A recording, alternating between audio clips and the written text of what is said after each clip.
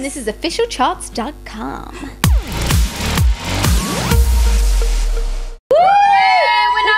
we're number one. Ah! Since we were number one. Ah. We never thought we'd see the day again. We are super duper excited to be number one with Black Magic. We are very, very ecstatic.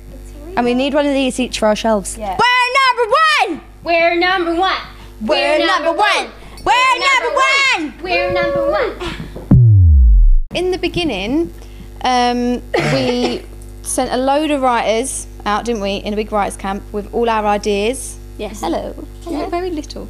Um, yeah, with all our ideas that we wanted to write about and what we wanted to come back with, and then they come back with lo and behold, Black Magic. Yes. And we just loved it love straight it. away. It was an instant hit for us.